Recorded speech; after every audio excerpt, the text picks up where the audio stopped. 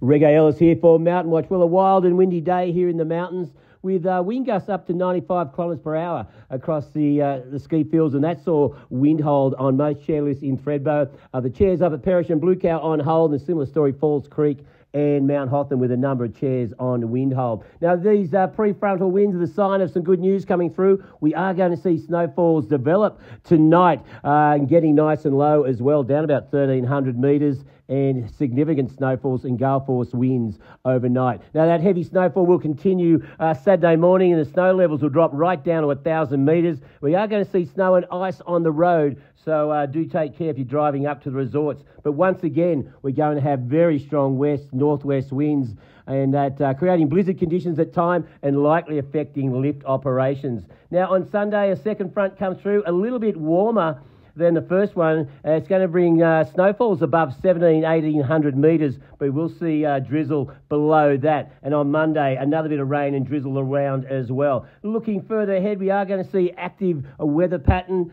and that'll see more snow come later on in the week. Now, this stage, we're going to see uh, 30 plus 50 centimetres over the next 24 hours, and then another front coming through uh, maybe next Friday, Saturday, and this stage showing good snow totals for the next seven days. This has been Reggae Ellis for Mountainwatch.